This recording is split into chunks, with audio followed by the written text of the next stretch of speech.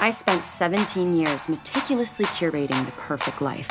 Hey movie lovers, welcome back to our channel, and let's get started with the topic 5 movies directed by women to stream now. At number 1 we have Atlantics.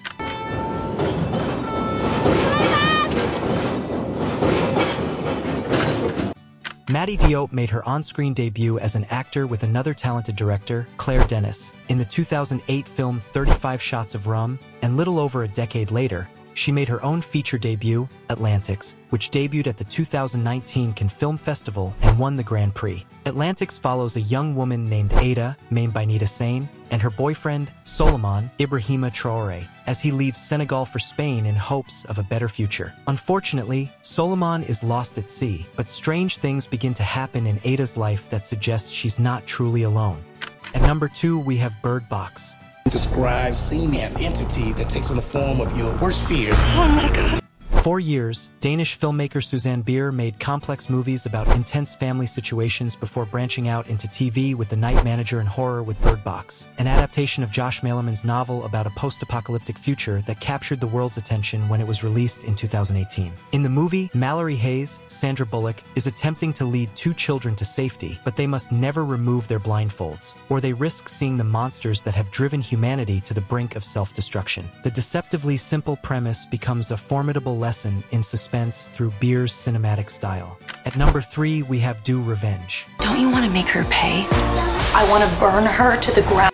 Mix Alfred Hitchcock strangers on a train with a blend of high school classics like Heathers and Mean Girls, add a heavy dose of Miami Beach pastels, and you'll get a sense of what Do Revenge is all about. After falling out with, respectively, a former boyfriend and friend, Dree, Camila Mendes, and Eleanor, Maya Hawke, devise a revenge scheme that involves swapping each other's enemy to get back at them. If you'd like to keep the escapist energy going, director Jennifer Kaytin Robinson previously made the charming Gina Rodriguez comedy Someone Great, which follows a music journalist in New York City enjoying one last hurrah with her longtime girlfriends before starting a new job across the country and processing her big breakup. At number four, we have Fair Play. It's so hard to accept that I deserve that job. I never got the shot.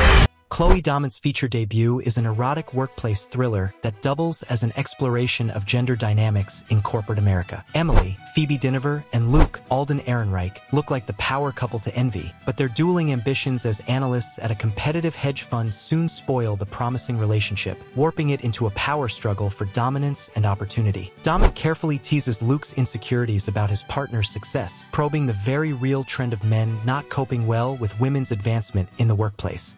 At number five, we have the half of it. Give it up next for Ellie Chu. Chugga chugga choo choo!